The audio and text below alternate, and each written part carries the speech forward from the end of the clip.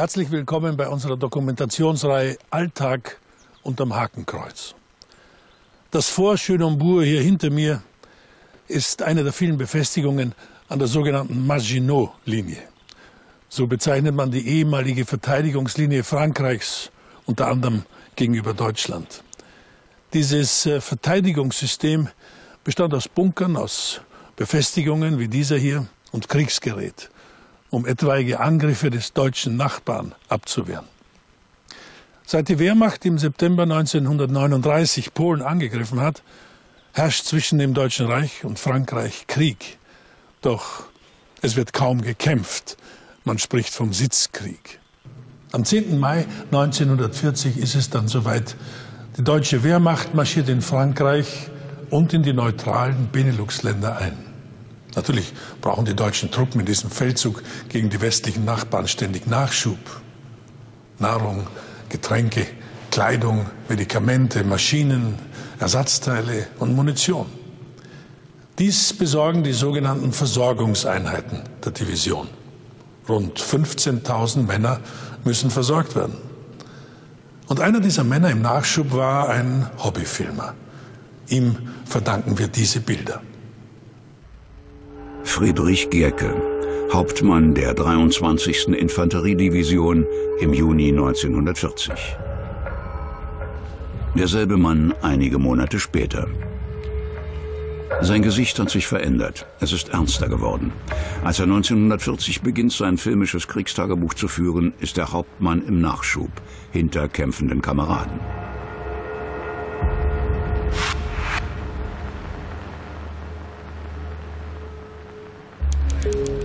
Die Angriffe der Wehrmacht haben Frankreich gezeichnet. Dabei war das Land seit dem Ersten Weltkrieg der Angstgegner der Deutschen. Die französischen Befestigungen galten als unbezwingbar. Im Sommer 1940 aber ist es anders. Die Wehrmacht führt einen Blitzkrieg. Gerke leitet in diesem Feldzug eine Versorgungseinheit. Die Infrastruktur Frankreichs erleichtert ihr die Arbeit. Neben dem sehr gut ausgebauten Schienennetz gab es ja eben auch ein sehr gut ausgebautes ähm, Straßennetz, sodass also die Lkw-Kolonnen ähm, rasch dann von den Ausladepunkten aus den ähm, Nachschubbetrieb an die Front äh, leisten konnten. Ähm, und ähm, der Krieg war ja nur von kurzer Dauer, waren also nur äh, vier, sechs Wochen im Grunde genommen äh, größere ähm, Kämpfe, sodass der Verbrauch auch nicht so hoch gewesen ist. Schon bald erfahren die Männer von der Kapitulation Frankreichs. Ihre Arbeit im Nachschub wird dadurch aber keinesfalls überflüssig. Auch eine Besatzungsarmee will versorgt werden. Gerke filmt Soldaten während des Exerzierens. Die Offiziere schauen zu.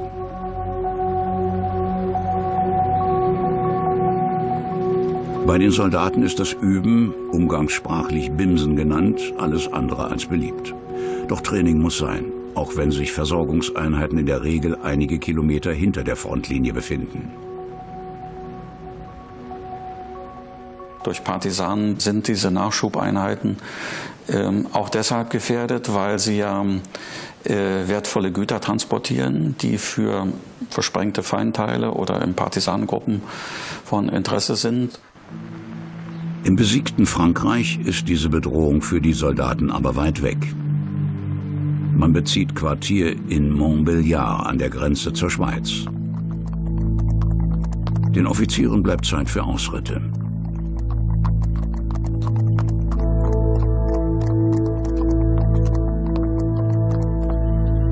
Die Verpflegung ist in Frankreich gut. Meistens sind die Waren gekauft, denn in Frankreich zu plündern wird hart bestraft. Übersetzer wie diese junge Frau sind gefragt. Sie hilft Gerke, wenn es darum geht, bei Franzosen einzukaufen. Er hat zu dieser Zeit den Auftrag, für die Division Alkohol zu besorgen. Und macht sich mit anderen Offizieren auf den Weg nach Reims. Zur Sektausgabestelle des Oberquartiermeisters. Die Kathedrale von Reims ist eine der Sehenswürdigkeiten der Stadt. Die Schäden, die das Gebäude im Ersten Weltkrieg davongetragen hatte, waren erst 1938 beseitigt worden. Andere Spuren des Ersten Weltkriegs sind immer noch zu sehen. Im rund 120 Kilometer entfernten Verdun liegen Gräber hunderttausender gefallener Soldaten. Wie auch im Beinhaus von Douaumont. Viele deutsche Soldaten besuchen als Besatzer Verdun und andere große Soldatenfriedhöfe. Diese Orte wecken dunkle Erinnerungen.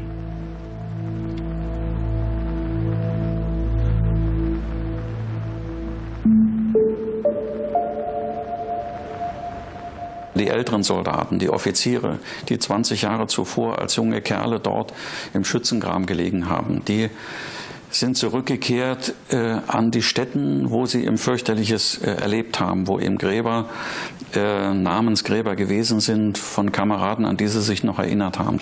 Für die ganz Jungen, die den Ersten Weltkrieg nur kannten aus den Erzählungen der Väter, ähm, war das auch kein kein Grund zum äh, Übermut, denn die Erzählungen der Väter waren ja vom Schrecken sozusagen äh, geprägt. Nicht? Die, der Erste Weltkrieg war ja in Erinnerung äh, Schützengrabenkrieg, waren Gasangriffe, waren äh, horrende Verluste für nur 100 Meter eroberten Gebietes.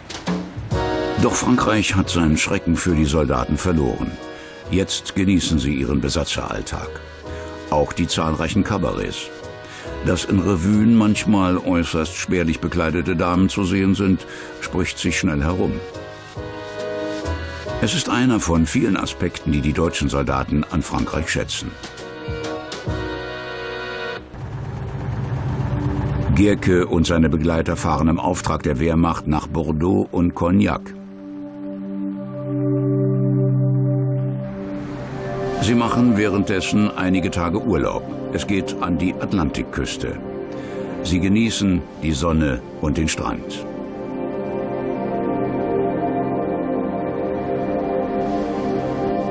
Gerke legt sich in den Sand. Dann ist Zeit für ein Bad im Atlantik. Jetzt geht es nach Cognac. Dort kauft die Gruppe um Friedrich Gerke Spirituosen und Wein. Nicht ohne den dafür nötigen Rohstoff zu testen.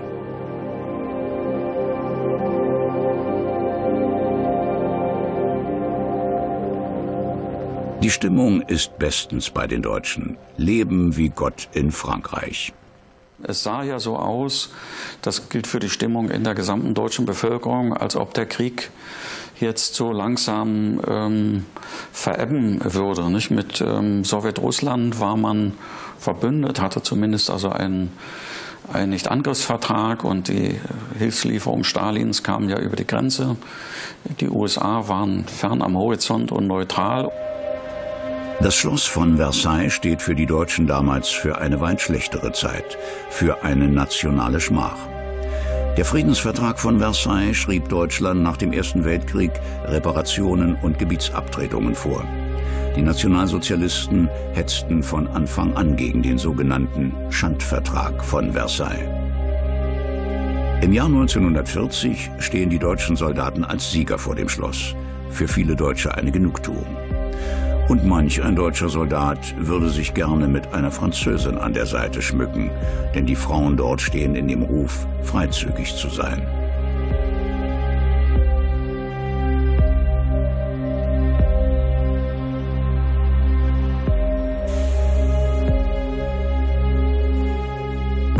Nordfrankreich äh, streng katholische Landgemeinden. Ähm, da waren die Mädchen nun nicht sozusagen scharf darauf, äh, über jeden äh, Männerrock herzufallen, äh, der durchs Dorf kam, schon gar nicht, also gegenüber Fremden. Also das äh, weiß man aus Erzählungen vieler Soldaten. Das war gar nicht so einfach, in Frankreich eine Freundin zu finden. Im Oktober 1940 nimmt Friedrich Gerke Abschied von Frankreich. Es geht in Richtung Osten. Zunächst nach Hohensalza. Die Stadt heißt auf Polnisch Inowrocław. Polen ist 1939 von der Landkarte verschwunden. Ein Teil ist deutsch besetzt, der andere sowjetisch. In Inowrocław filmt Gerke auch den Kommandeur der Division, General Heinz Helmich, hier rechts im Bild. Der Angriff auf die Sowjetunion wird vorbereitet. Hitler hat den Entschluss längst getroffen. Die einfachen Soldaten ahnen nichts davon. Nur das Oberkommando der Wehrmacht ist eingeweiht. Hauptmann Friedrich Gerke und seine Leute werden für den Nachschub von Lebensmitteln und Munition zuständig sein. Doch noch haben sie höchstens einen Verdacht, wohin sie den Nachschub liefern werden. Es bleibt Zeit und Ruhe, um im Frühjahr 1941 die Verlobung des Tierarztes der Einheit zu feiern. Mittlerweile liegen Hauptmann Gerke und seine Männer in Budikiast, etwa 70 Kilometer nordöstlich von Warschau. Der Stab der Division feiert mit dem Paar und den Eltern der Braut im ländlichen Idyll. Es wird nur noch wenige Wochen halten. An Probleme denkt im Frühsommer 1941 kaum jemand unter den Soldaten. Hauptmann Gerke filmt seine Offizierskameraden. Viele werden die kommenden Monate nicht überleben. Man gab sich eben alle Mühe, diesen Aufmarsch äh, zu tarnen, Gerüchte in die Welt zu setzen und auch ähm, die eigenen Soldaten äh, zu, äh, zu täuschen, die eben ähm, nach Ostpolen verlegt worden sind, in die Wälder dort hinein und die praktisch erst in der Nacht ähm, zum, ähm, zum Sonntag, zum 22. Juni 1941, ähm, dann darüber aufgeklärt worden sind, äh, was eigentlich äh, ihre Aufgabe als nächstes ist. Die 23. Infanteriedivision wird noch näher an die künftige Frontlinie verlegt. Zuvor feiern die Offiziere ausgelassen Abschied von Budikirsk. Die Soldaten wissen noch nicht, dass es für viele die letzte Feier ist.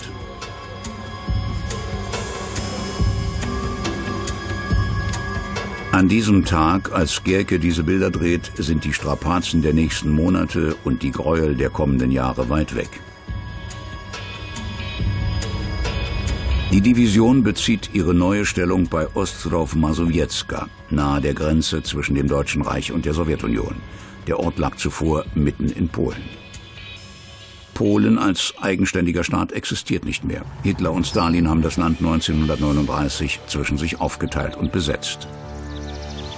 Es ist der 19. Juni 1941, drei Tage vor dem Überfall der Wehrmacht auf die Sowjetunion. Für nachrückende Einheiten werden Holzhütten errichtet. Die Offiziere erkunden das Grenzgebiet mit Pferden. Diese Region ist besiedelt, Soldaten leben mitten im Dorf. Es ist die Ruhe vor dem Sturm.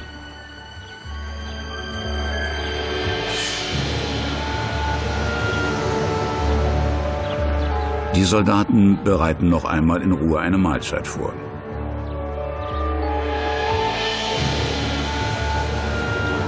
setzen sich zusammen und treffen letzte Vorbereitungen für den bevorstehenden Angriff. Auch im Krankenrevier. Noch ist auch Zeit, kleine Verletzungen zu versorgen. An den höchsten sowjetischen Stellen will man nicht so recht an einen möglichen deutschen Angriff glauben. Wir wissen auch aufgrund neuerer Veröffentlichungen, dass Stalin relativ früh eine Vielzahl von Meldungen erhalten hat, die darauf hindeuteten, dass die Deutschen einen Überfall äh, geplant haben. Aber man muss sehen, dass er einerseits hartnäckig nicht daran glauben wollte, dass Hitler so dumm sein würde, in dieser Situation des Krieges jetzt eine zweite Front äh, zu eröffnen. Gerke hält die letzten Stunden des Wartens fest. Auf die Soldaten wird Unvorstellbares zukommen. Zeit zu filmen wird in diesen Momenten nicht mehr sein.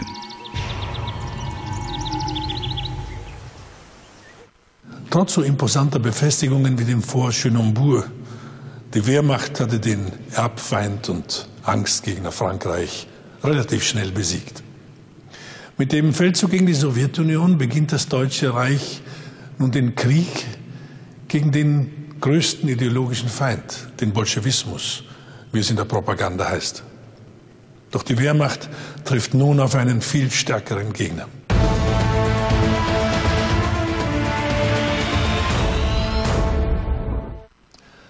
Die 23. Infanteriedivision steht jetzt an der Grenze zur Sowjetunion. Die Soldaten haben verhältnismäßig ruhige Kriegszeiten an der Westfront hinter sich. Hauptmann Gerke und seine Männer haben den Frankreich-Feldzug mitgemacht.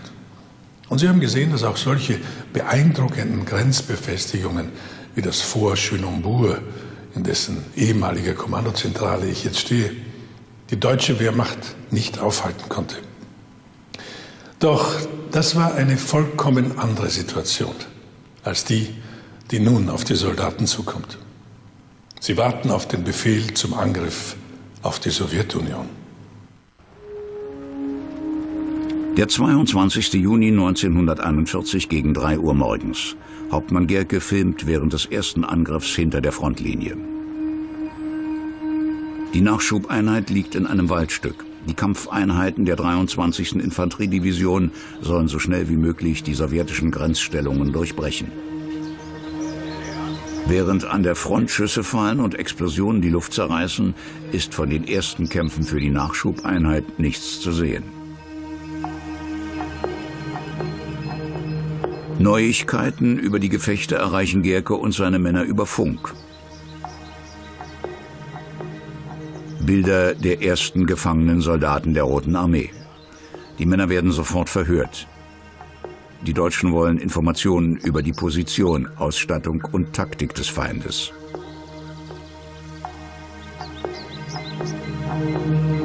Das seit dem Angriff von Ostrov-Masowiecka aus angepeilte Ziel der Division ist Bialystok. Nach dem Hitler-Stalin-Pakt von 1939 ist Bialystok nicht mehr polnisch, sondern Teil der Sowjetunion. Insgesamt marschieren am 22. Juni 1941 drei Millionen deutsche Soldaten gegen die Sowjetunion. In den ersten Tagen stoßen sie auf schwache Gegenwehr. Der Gegner ist überrumpelt. Trotzdem wird dieser Feldzug für die Soldaten härter als alles bisher Gekannte. Das wurde ihnen ja auch in den Befehlen ähm, klargemacht, dass dieser Krieg eben ein Weltanschauungskrieg ähm, sein würde. Ähm, und ähm, aufgrund der äh, jahrelangen Propaganda des Antibolschewismus in den 30er Jahren ähm, gab es natürlich äh, auch entsprechende ähm, Feindbilder und äh, ja, Ängste sozusagen vor einer Barbarisierung des äh, Krieges. Auf der anderen Seite stand natürlich ein stark ausgeprägtes Überlegenheitsgefühl. Man hatte Frankreich geschlagen, was im Ersten Weltkrieg nicht gelungen war. Ähm, Frankreich bisher der Angstgegner. Und vor einem stand also Russland, dieses Russland, das vor 20 Jahren ja von der deutschen Armee 1917 geschlagen worden war. Diesmal soll der Gegner nicht geschlagen, sondern vernichtet werden. Es wird keine Verhandlungen geben, keine ritterliche Kriegsführung. Der Vormarsch ist trotz der ersten Erfolge der Wehrmacht schwer und verlustreich. Befestigte Straßen sind selten. Schlaglöcher bremsen das Tempo, selbst jetzt, mitten im Sommer.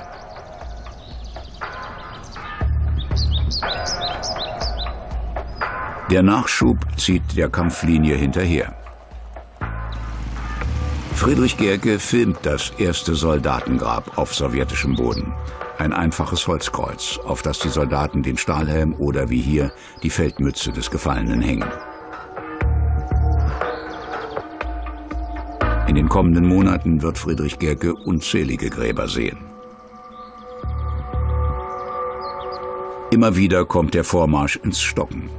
Sowjetische Gegenangriffe zwingen dazu, die Kräfte an neue Einsatzorte zu schicken. Dennoch glaubt die deutsche Führung fest daran, den Krieg innerhalb von wenigen Wochen zu gewinnen. Auch weil die Wehrmacht auf ihrem Vormarsch Unmengen von sowjetischen Fahrzeugen findet. Hitler glaubt, die Rote Armee sei zerschlagen. Und die Deutschen kämpfen nicht alleine gegen die Rote Armee. Also bei etwa anfangs äh, drei Millionen deutscher Wehrmachtssoldaten im Osten ähm, kamen äh, zunächst äh, oder gleich zu Beginn des Krieges 600.000 ausländische Soldaten hinzu. Das waren ähm, Wehrpflichtarmeen, ähm, wie etwa in, in, in, Finnland oder Rumänien und Ungarn. Ähm, das ähm, waren ähm, italienische Divisionen, faschistische Miliz und eben auch königliche italienische Armee. Soldaten kämpfen, wo andere leben. Irgendwo im heutigen Polen filmt Hauptmann Friedrich Gerke diese Zivilisten. Sie taumeln durch die Trümmer ihrer Existenz. Sie retten davon, was noch zu retten ist. Sie versorgen sich mit Decken aus einem zurückgelassenen Rotkreuzwagen. Die Menschen müssen zwischen den Soldaten ihre tägliche Arbeit verrichten, um zu überleben. Die Deutschen ziehen weiter nach Osten. Der Stab der 23. Infanteriedivision bezieht Stellung. Der Kommandeur General Heinz Helmich ist dabei. Friedrich Gerke filmt. Aufnahmen zu machen ist nun, mitten im Krieg, keinesfalls verboten. Friedrich Gerke fängt die Gefahr ein, in der die Soldaten schweben. Er filmt den Einschlag einer Kugel am Wagen des Generals. Gegen schweres Geschütz hätte das Auto keine Chance gehabt. Der Krieg besteht nicht nur aus Kämpfen, erst recht für die Männer im Nachschub, die nicht an vorderster Front im Einsatz sind. Deshalb werden in den Versorgungseinheiten oft ältere Soldaten eingesetzt. Die Atempausen nutzen die Männer für die Körperpflege. Noch im Juni dreht Hauptmann Friedrich Gerke diese Bilder. Die Wehrmacht überquert einen Fluss, vermutlich den Narew. Die Division soll der Roten Armee auf dem Rückzug den Weg abschneiden. Dabei machen die Deutschen immer mehr Gefangene. Der Straßenstaub setzt sich überall fest. Er legt Fahrzeuge lahm und ermüdet die Soldaten. Besonders die Gradfahrer, die ständig zwischen der unmittelbaren Front und den hinteren Truppenteilen hin und her fahren, um Meldungen zu überbringen. Nun ist Bialystok erreicht. Von Ostrov Masowiecka aus war Bialystok das erste Etappenziel. Die Zivilbevölkerung leidet unter dem deutschen Vormarsch. Da entwickelt sich dann Besatzungspolitik äh, zunächst in, in aller Schärfe, weil die Wehrmacht aufgrund ihres äh, strategischen Konzepts darauf angewiesen war, ähm, äh, aus dem Lande zu leben, stärker als bisher, um den Nachschub zu entlasten über die weiten Entfernungen. Aus dem Lande zu leben heißt aber, dass man den Bauern die Ernte äh, wegnehmen muss, auch wenn man sie dafür mit äh, wertlosem Papierbesatzungsgeld ähm, bezahlt. Dass die Soldaten etwas zu essen haben, ist wichtig für die Leistung und die Moral der Truppe. In der Feldküche helfen einheimische Frauen. Ihr Lohn ist eine Mahlzeit für sich und ihre Kinder. Zunächst sind die Deutschen für die Zivilbevölkerung keine Gefahr. Dann kamen allerdings danach eben die SS- und Polizeieinheiten. Ähm, dann äh, begann eben die äh, Suche nach äh, untergetauchten Kommunisten. Ähm, dann begann die Verfolgung der äh, jüdischen äh, Bevölkerung. Zerstörte Panzer, von den fliehenden sowjetischen Soldaten zurückgelassen, säumen die staubigen Straßen. Tote liegen auf dem Boden.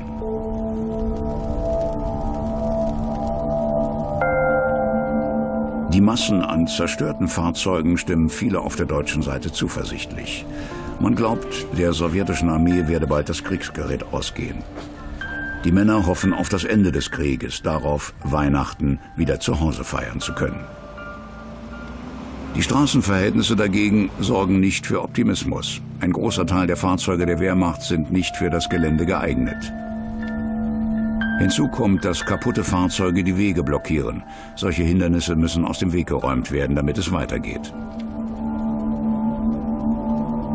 Schwerstarbeit in sengender Sommerhitze. In einem Wald finden Gerke und seine Kameraden Schutz vor der Sonne und dem Feind. Zwischen den Bäumen können die Soldaten sich und ihre Fahrzeuge tarnen und so vor Angriffen schützen. Der Wald hat einen weiteren Vorteil. Wer Holz hat, kann Wasser heiß machen und sich damit besser vom Straßenstaub reinigen. Der Schmutz klebt auf den Gesichtern. Manch einer hat einen Sonnenbrand. Alle Soldaten werden zur Hygiene angehalten. Das Ganze war aber nicht nur eine Frage von Ordnung und Disziplin, sondern schlichtweg auch von Gesundheitsfürsorge. Denn man kannte das Problem ähm, der Verlausung etwa, der Verbreitung von Krankheiten aus dem Ersten Weltkrieg. Mitte Juli 1941 erreicht die Division Minsk. Die Wehrmacht ist bis nach Minsk rund 400 Kilometer auf sowjetisches Terrain vorgedrungen. Außerhalb der Stadt entdecken die Soldaten einen Flugplatz der sowjetischen Luftwaffe. Die Deutschen hatten ihn angegriffen und viele Maschinen zerstört. Die technische Ausrüstung des Feindes weckt das Interesse der Division. Im Zentrum von Minsk inspizieren die Wehrmachtssoldaten eine umgestürzte Lenin-Statue, ein symbolischer Sieg. Ihren militärischen Triumph hat die Wehrmacht wenige Tage zuvor gefeiert. In einer Kesselschlacht hatte sie rund 320.000 sowjetische Soldaten gefangen genommen. Jeder zweite wird in deutscher Gefangenschaft sterben. Im Umkreis der Stadt und andernorts in Osteuropa erschießen die Deutschen Tausende von Juden. Die Wehrmacht verhängt ein Film- und Fotografierverbot. Das bezog sich aber darauf, dass ähm, Vorgesetzte monierten, ähm, dass Soldaten eben Erschießungsaktionen der SS und Polizei fotografierten, äh, dass sie gewissermaßen in Tonhose und mit dem Fotoapparat vor dem Bauch baumelnd ähm, an den Gruben sozusagen standen und ihre Aufnahmen machten. Und ähm, dann diese Aufnahmen, weil sie ja selber das Gefühl hatten, da passiert etwas ganz Sensationelles, nicht? Ähm, ähm, etwas ganz Schreckliches oder jedenfalls Unerhörtes, ähm, dass sie oft von diesen ähm, Leichenbergen auch ähm, von diesen Erschießungen dann Abzüge äh, gemacht haben, die sie an, äh, an Kameraden verkauft haben. Gerke filmt die Bewohner eines weißrussischen Dorfes. Viele ihrer Landsleute werden später als Zwangsarbeiter nach Deutschland verschleppt. Zum Zeitpunkt dieser Aufnahmen scheinen die Dorfbewohner noch keine schlechten Erfahrungen mit den Deutschen gemacht zu haben. Sie staunen über deren Radio, den sogenannten Volksempfänger. Und die Frauen helfen wieder einmal in der Feldküche. Dann geht es weiter nach Osten.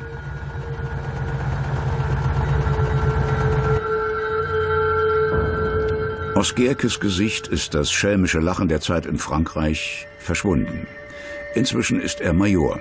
Seine Uniform ist nicht mehr tadellos gepflegt. Vielleicht ahnt er, dass dies nur der Anfang ist, dass der Staub und die tiefen Schlaglöcher kein Ende nehmen. Die unzähligen Dörfer, durch die die deutschen Soldaten kommen, machen ihnen die Weite des Landes erst bewusst. Es muss eine Wohltat sein, von den trockenen Pisten an einen Fluss zu kommen. Es ist der 14. Juli 1941. Gerkes Aufnahmen zeigen, wer zur Division gehört. In der Aufklärungsabteilung gibt es noch Kavallerieschwadronen. Die Propaganda der Nationalsozialisten hatte im In- und Ausland den Eindruck erweckt, die Wehrmacht sei weit besser motorisiert. Im Alltag des Krieges gibt es für die Soldaten immer wieder Grund zu feiern. An diesem Tag heiraten drei Soldaten, direkt hinter der Front. Sogenannte Ferntrauungen finden statt. Die Braut wird in Deutschland getraut, der Bräutigam an der Front von einem Offizier oder Geistlichen. Weil neben der Braut ein Stahlhelm anstelle des Bräutigams steht, spricht der Volksmund von Stahlhelmhochzeiten.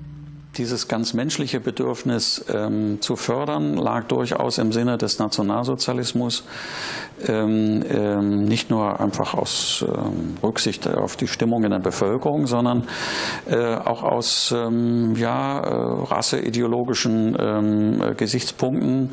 Es ging ja darum, möglichst dem Führer neue Kinder, sozusagen künftige Soldaten äh, zu schenken, die Geburtenfreudigkeit zu erhöhen. Für einen Soldaten gibt es noch einen anderen Beweggrund. Wenn er Angst hat zu sterben, dann führt die Ferntrauung dazu, dass er eine Witwe mit Versorgungsanspruch zurücklässt. Dass ein Soldat tot ist, erfährt seine Familie in der Regel aus einem Brief des Kompanieführers. Darin steht, wo und wann der Mann gestorben ist. Nur ein Teil der Soldaten stirbt in Lazaretten hinter der Kampflinie. Viele lassen ihr Leben kurz nachdem sie verwundet werden. Sie schaffen es nicht mehr zu Verbandsplätzen wie diesem, direkt an der Front. Dass der Krieg gegen die Sowjetunion härter wird als die sogenannten Blitzkriege im Westen Europas, ist vielen Soldaten schon nach wenigen Wochen klar. Der Ostfeldzug hat im Sommer bei erträglichen Temperaturen begonnen. Zu diesem Zeitpunkt können die deutschen Soldaten noch nicht ahnen, welche Strapazen sie im russischen Winter erwarten. Wie Friedrich Gerke und die 23. Infanteriedivision den Einbruch der eisigen Temperaturen erleben, sehen Sie nach einer kurzen Pause.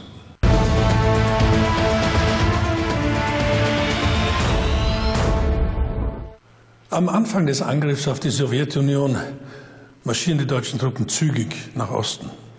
Hitler und viele Generäle glauben, der Feldzug sei in wenigen Wochen beendet und gewonnen. Viele einfache Soldaten hoffen, bald nach Hause zu kommen und nicht mehr von Gulaschkanonen oder Großküchen wie dieser hier in Fort-Chenonbourg bekocht zu werden, sondern zu Hause von ihren Frauen oder Müttern. Doch diese Hoffnung wird enttäuscht, wie die Männer bald feststellen müssen. Die sowjetischen Kriegsgefangenen lösen bei den deutschen Soldaten unterschiedliche Gefühle aus. Diese Männer sind keine Gefahr mehr, sie sind besiegt, aber sie wecken bei den Deutschen die Angst, selbst in Gefangenschaft zu geraten. Friedrich Gerke fragt sich vielleicht, während er diese Bilder macht, wie die Gefangenen mit Nahrung versorgt werden sollen. Zu seinen Aufgaben gehört das nicht. Gefangene sollen von dem ernährt werden, was die Deutschen übrig lassen. Weibliche Gefangene diffamiert die Propaganda auf besondere Art und Weise. Die Soldaten der Wehrmacht waren gewarnt worden durch die Goebbelsche Hasspropaganda vor sogenannten Flintenweibern. Darunter stellte man sich eben irgendwelche politisch verhetzten ähm, Weibsbilder vor, ähm, die da sozusagen völlig vertiert äh, dann auf dem Schlachtfeld den Soldaten an die, an die Gurgel gehen würden. Das ist natürlich ähm, ein Klischee gewesen, dessen Wirkung ähm, auf die Soldaten man ja nicht äh, messen kann. Man sieht aber allerdings in den Fotoalben, wenn da ähm, Soldatinnen, äh, gefangene Soldatinnen äh, gezeigt werden, ähm, dass auch in der Beschriftung so im Unterton äh, etwas stark Abfälliges ähm, ähm mitklingt. Im August 1941 ist das Verhältnis zwischen deutschen Soldaten und der Zivilbevölkerung nicht immer feindselig. Hier besucht die 23. Infanteriedivision einen Gottesdienst in einer Dorfkirche, gemeinsam mit Bewohnern des Ortes. Das Gotteshaus war von den Kommunisten zu einem Stall umfunktioniert worden. Auch Hitler will in Deutschland den Einfluss der Kirchen eindämmen. Doch in diesem Feldzug gibt man eine andere Losung an die Soldaten aus, wenn die Bevölkerung ihre Kirchen wieder dem alten Zweck zuführen will. Die Anweisung lautete, das durchaus äh, zu unterstützen, ähm, denn ähm, man ähm, wollte ja durchaus die, die Sympathie, äh, die Kollaborationsbereitschaft der äh, Bevölkerung. Auf dem Weg nach Smolensk filmt Friedrich Gerke zerstörtes Kriegsgerät. Die Rote Armee verfügt 1941 über 23.000 Panzer, rund 116.000 Geschütze und Granatwerfer sowie etwa 13.000 Flugzeuge. Damit ist sie zahlenmäßig besser ausgerüstet als die deutsche Seite. Unter dem zerstörten Material ist auch ein Panzerzug. Beide Seiten setzen in diesem Krieg auf den Transport auf der Schiene. Solche Transporte sind Ziele für die Angriffe der Luftwaffe und von Partisanen. Stalin hat inzwischen zum großen Vaterländischen Krieg aufgerufen. Durch die Besatzungspolitik auf wirtschaftlichem Gebiet, aber eben auch was äh, die rassische Verfolgung, die politische Bekämpfung anbelangt, entstehen dann ähm, ähm, ja, äh, Übergriffe, äh, Massaker, Verbrechen, ähm, die ähm, das Verhältnis zur Bevölkerung ähm, ähm, beeinträchtigen. Ähm, das ist ja klar etwas, was sich dann verschärft dadurch, dass äh, der Krieg eben nicht nach vier, sechs Wochen ähm, zu Ende ist, ähm, sondern die Anforderungen eben im Hinblick auf die Ausbeutung des Landes dann wachsen. Deshalb ist die Hilfe der deutschen Soldaten bei der Ernte purer Eigennutz. Der schnelle Vormarsch nach Osten hat einen Nachteil. Die Wege, um Nahrung und neue Munition zu den kämpfenden Soldaten zu schaffen, werden länger. Smolensk ist im September 1941 erreicht. Die Stadt ist gezeichnet von schweren Kämpfen. Etwa 700 Kilometer Vormarsch bis nach Smolensk hat Gerkes Division hinter sich. Smolensk gilt als gute Ausgangsbasis für einen Angriff auf Moskau. Hitler und die Heeresführung sind sich uneins, wie es nach dem Erfolg von Smolensk weitergehen soll. Die Generale wollen schnell nach Moskau. Hitler will zuerst die Ukraine im Süden erobern, wegen ihrer Getreidefelder. Hitler setzt sich durch. sodass also unter dem Strich die Deutschen zwar die Ukraine besetzt haben, auch deren wirtschaftliche Ressourcen in die Hand bekommen haben, soweit sie unzerstört gewesen sind. Ähm, aber äh, der Marsch auf Moskau ähm, dann zeitlich verzögert wurde und damit auch in eine Schlechtwetterperiode hineingeraten ist und der Vormarsch immer langsamer wurde und dann schli schließlich am Stadtrand von Moskau ähm, zum Erliegen gekommen ist. Die deutschen Kräfte stoßen immer häufiger auf sowjetische Panzer. Denn Stalin lässt mittlerweile pausenlos zurückschlagen und setzt seine schwer angeschlagenen Truppen rücksichtslos ein. Auf der deutschen Seite gibt es deshalb höhere Verluste. Hier wird der Kommandeur der Aufklärungsabteilung der 23. Infanteriedivision zu Grabe getragen. In Aufklärungsabteilungen sterben verhältnismäßig viele Soldaten. Sie erkunden Terrain, das noch nicht erobert wurde. Dabei treffen sie oft überraschend auf einen überlegenen Feind. Doch Soldaten sterben nicht nur im Kampf. Manch einer erträgt den Krieg nicht mehr und nimmt sich das Leben. Für ihn gibt es keine militärischen Ehren. Er wird also auf kein Kriegerdenkmal mit seinem Namen äh, verewigt äh, werden. Ähm, es wird die Gestapo dann sicherlich prüfen, ähm, ähm, ob also irgendein familiärer Hintergrund äh, da ist. Möglicherweise hat die Frau defetistische Briefe an ihren Mann äh, geschrieben. Und im letzten Kriegsjahr kommt die sogenannte Sippenhaft dazu, dass also die Familie damit rechnen musste, ins Konzentrationslager zu kommen. Anfang Oktober 1941. Friedrich Gerke filmt ein brennendes Dorf. Für seine Bewohner ist es eine Katastrophe, ihr Dach über dem Kopf zu verlieren. Wie sollen sie ohne Haus den Winter überleben? Die kalte Jahreszeit wird auch für die Soldaten zum Problem werden. Doch noch reichen leichte Mäntel.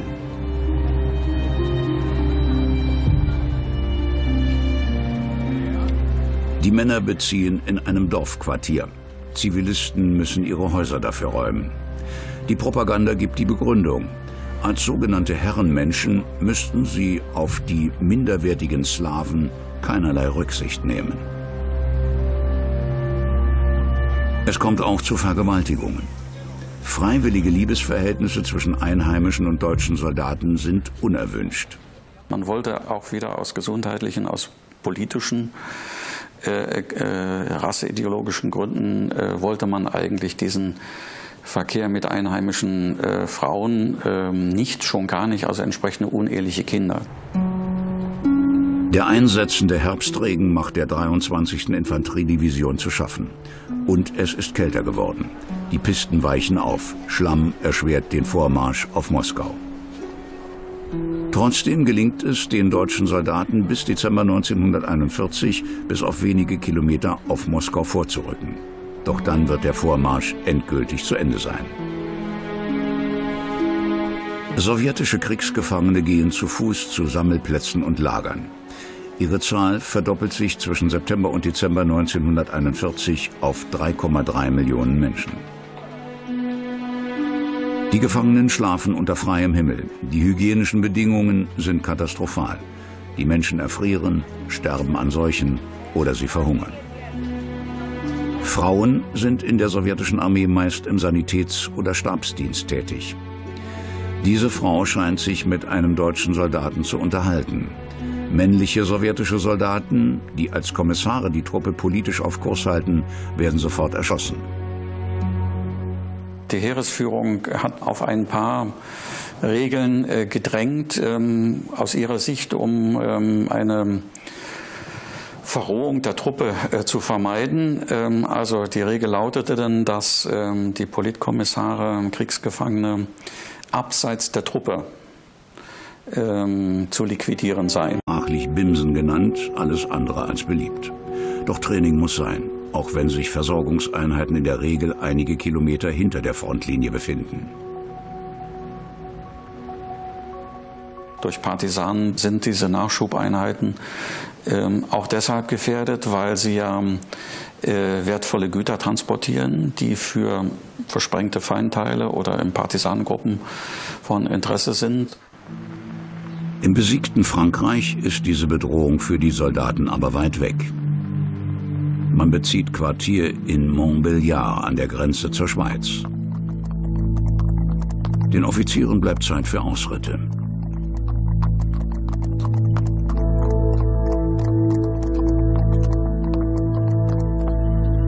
Die Verpflegung ist in Frankreich gut. Meistens sind die Waren gekauft, denn in Frankreich zu plündern wird hart bestraft. Übersetzer wie diese junge Frau sind gefragt. Sie hilft Gerke, wenn es darum geht, bei Franzosen einzukaufen. Er hat zu dieser Zeit den Auftrag, für die Division Alkohol zu besorgen. Und macht sich mit anderen Offizieren auf den Weg nach Reims zur Sektausgabestelle des Oberquartiermeisters. Die Kathedrale von Reims ist eine der Sehenswürdigkeiten der Stadt. Die Schäden, die das Gebäude im Ersten Weltkrieg davongetragen hatte, waren erst 1938 beseitigt worden. Andere Spuren des Ersten Weltkriegs sind immer noch zu sehen. Im rund 120 Kilometer entfernten Verdun liegen Gräber hunderttausender gefallener Soldaten wie auch im Beinhaus von Douaumont. Viele deutsche Soldaten besuchen als Besatzer Verdun und andere große Soldatenfriedhöfe.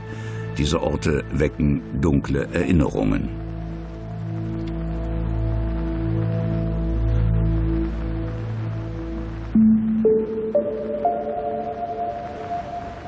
Die älteren Soldaten, die Offiziere, die 20 Jahre zuvor als junge Kerle dort im Schützengraben gelegen haben, die sind zurückgekehrt äh, an die Stätten, wo sie eben fürchterliches äh, erlebt haben, wo eben Gräber, äh, Namensgräber gewesen sind von Kameraden, an die sie sich noch erinnert haben. Für die ganz Jungen, die den Ersten Weltkrieg nur kannten aus den Erzählungen der Väter, ähm, war das auch kein kein Grund zum äh, Übermut, denn die Erzählungen der Väter waren ja vom Schrecken sozusagen äh, geprägt. Nicht? Die, der Erste Weltkrieg war ja in Erinnerung äh, Schützengrabenkrieg, waren Gasangriffe, waren äh, horrende Verluste für nur 100 Meter eroberten Gebietes. Doch Frankreich hat seinen Schrecken für die Soldaten verloren. Jetzt genießen sie ihren Besatzeralltag. Auch die zahlreichen Kabarets. Dass in Revuen manchmal äußerst spärlich bekleidete Damen zu sehen sind, spricht sich schnell herum. Es ist einer von vielen Aspekten, die die deutschen Soldaten an Frankreich schätzen. Gierke und seine Begleiter fahren im Auftrag der Wehrmacht nach Bordeaux zuständig sein. Doch noch haben sie höchstens einen Verdacht, wohin sie die Nachschub liefern werden. Es bleibt Zeit und Ruhe, um im Frühjahr 1941 die Verlobung des Tierarztes der Einheit zu feiern. Mittlerweile liegen Hauptmann Gerke und seine Männer in Budikiast, etwa 70 Kilometer nordöstlich von Warschau. Der Stab der Division feiert mit dem Paar und den Eltern der Braut im ländlichen Idyll. Es wird nur noch wenige Wochen halten. An Probleme denkt im Frühsommer 1941 kaum jemand unter den Soldaten. Hauptmann Gerke filmt seine Offizierskameraden. Viele werden die kommenden Monate nicht überleben. Man gab sich eben alle Mühe, diesen Aufmarsch äh, zu tarnen, Gerüchte in die Welt zu setzen und auch ähm, die eigenen Soldaten äh, zu äh, zu täuschen, die eben ähm, nach Ostpolen verlegt worden sind, in die Wälder dort hinein und die praktisch erst in der Nacht ähm, zum, ähm, zum Sonntag, zum 22. Juni 1941, ähm, dann darüber aufgeklärt worden sind, äh, was eigentlich äh, ihre Aufgabe als nächstes ist. Die 23. Infanteriedivision wird noch näher an die künftige Frontlinie verlegt. Zuvor feiern die Offiziere ausgelassen Abschied von Budikirsk. Die Soldaten wissen noch nicht, dass es für viele die letzte Feier ist.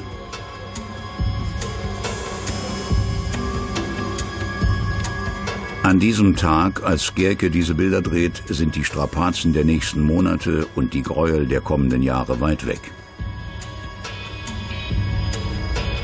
Die Division bezieht ihre neue Stellung bei Ostrov Masowiecka, nahe der Grenze zwischen dem Deutschen Reich und der Sowjetunion. Der Ort lag zuvor mitten in Polen.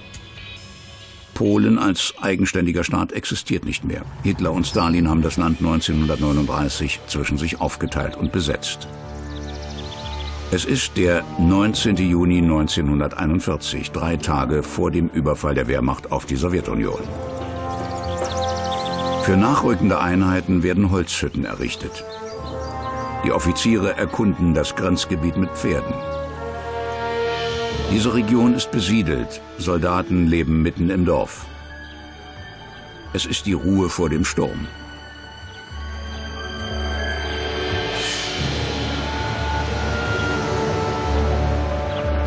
Die Soldaten bereiten noch einmal in Ruhe eine Mahlzeit vor.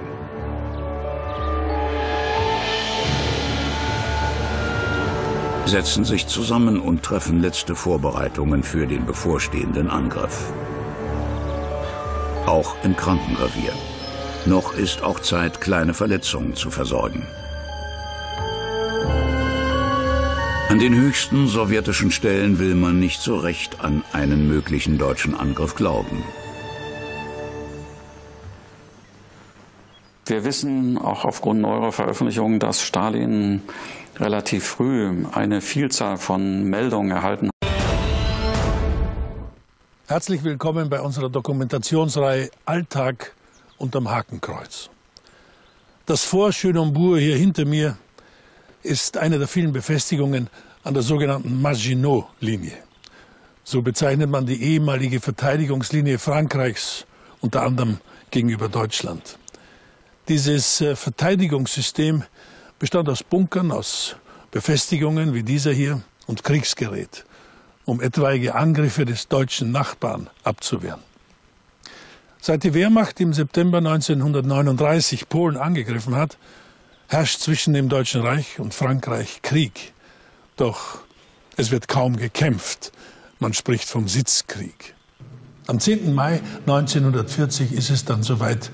Die deutsche Wehrmacht marschiert in Frankreich und in die neutralen Benelux-Länder ein.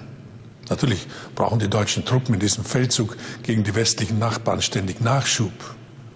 Nahrung, Getränke, Kleidung, Medikamente, Maschinen, Ersatzteile und Munition. Dies besorgen die sogenannten Versorgungseinheiten der Division. Rund 15.000 Männer müssen versorgt werden. Und einer dieser Männer im Nachschub war ein Hobbyfilmer. Ihm verdanken wir diese Bilder. Friedrich Gierke, Hauptmann der 23. Infanteriedivision im Juni 1940. Derselbe Mann einige Monate später. Sein Gesicht hat sich verändert. Es ist ernster geworden. Als er 1940 beginnt, sein filmisches Kriegstagebuch zu führen, ist der Hauptmann im Nachschub, hinter kämpfenden Kameraden.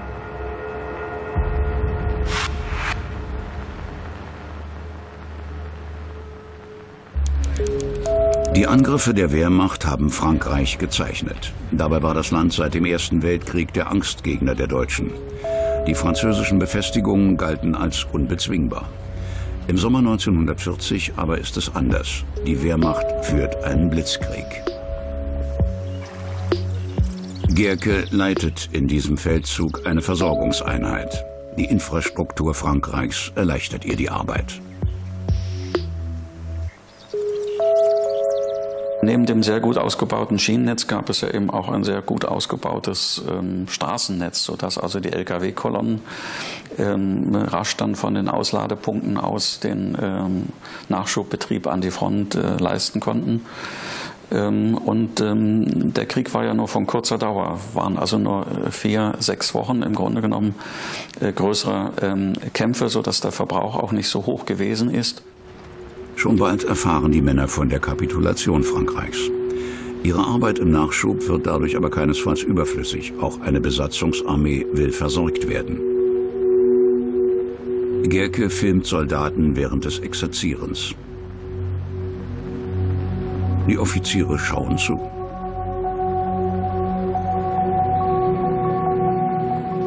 Bei den Soldaten ist das Üben Umgangssprache und Cognac. Sie machen währenddessen einige Tage Urlaub. Es geht an die Atlantikküste. Sie genießen die Sonne und den Strand.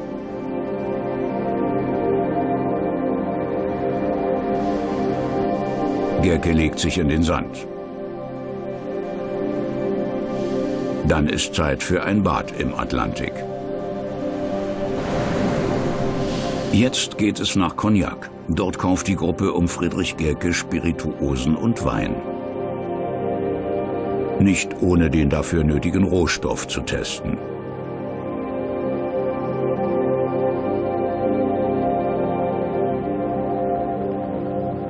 Die Stimmung ist bestens bei den Deutschen. Leben wie Gott in Frankreich. Es sah ja so aus, das gilt für die Stimmung in der gesamten deutschen Bevölkerung, als ob der Krieg jetzt so langsam ähm, verebben würde. Nicht? Mit ähm, Sowjetrussland war man verbündet, hatte zumindest also einen, einen Nichtangriffsvertrag und die Hilfslieferung Stalins kamen ja über die Grenze. Die USA waren fern am Horizont und neutral. Das Schloss von Versailles steht für die Deutschen damals für eine weit schlechtere Zeit, für eine nationale Schmach. Der Friedensvertrag von Versailles schrieb Deutschland nach dem Ersten Weltkrieg Reparationen und Gebietsabtretungen vor. Die Nationalsozialisten hetzten von Anfang an gegen den sogenannten Schandvertrag von Versailles. Im Jahr 1940 stehen die deutschen Soldaten als Sieger vor dem Schloss. Für viele Deutsche eine Genugtuung. Und manch ein deutscher Soldat würde sich gerne mit einer Französin an der Seite schmücken, denn die Frauen dort stehen in dem Ruf, freizügig zu sein.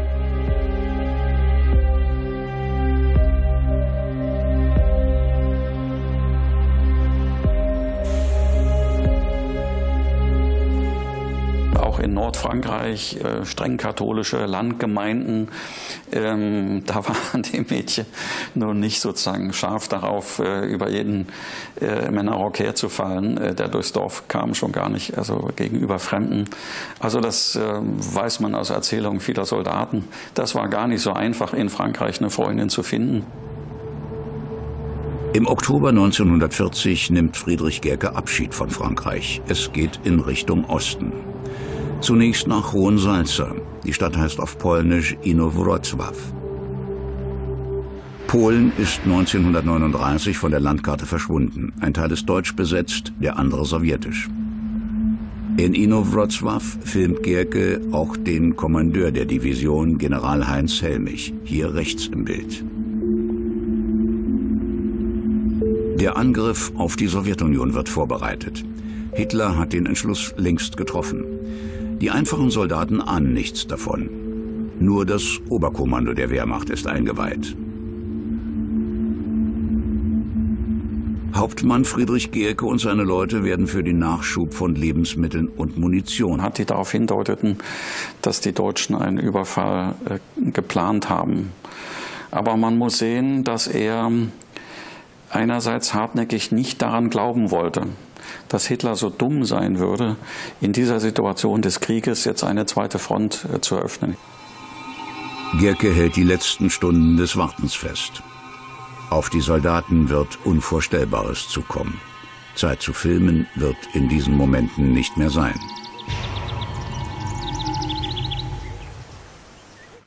Trotz so imposanter Befestigungen wie dem Fort Chenonbourg, die Wehrmacht hatte den Erbfeind und Angstgegner Frankreich relativ schnell besiegt.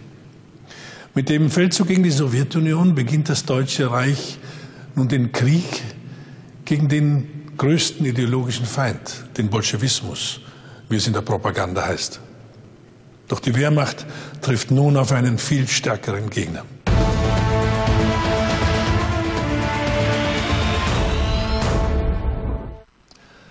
Die 23. Infanteriedivision steht jetzt an der Grenze zur Sowjetunion.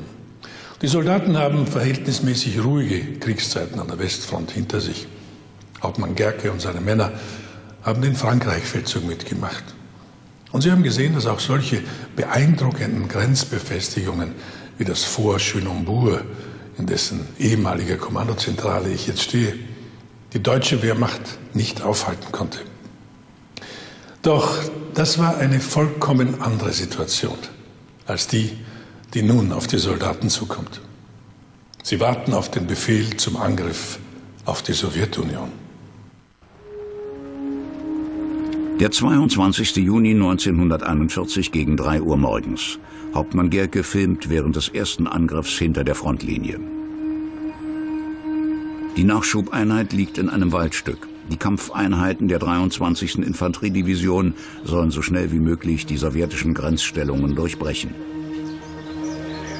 Während an der Front Schüsse fallen und Explosionen die Luft zerreißen, ist von den ersten Kämpfen für die Nachschubeinheit nichts zu sehen. Neuigkeiten über die Gefechte erreichen Gerke und seine Männer über Funk. Bilder der ersten gefangenen Soldaten der Roten Armee. Die Männer werden sofort verhört. Die Deutschen wollen Informationen über die Position, Ausstattung und Taktik des Feindes.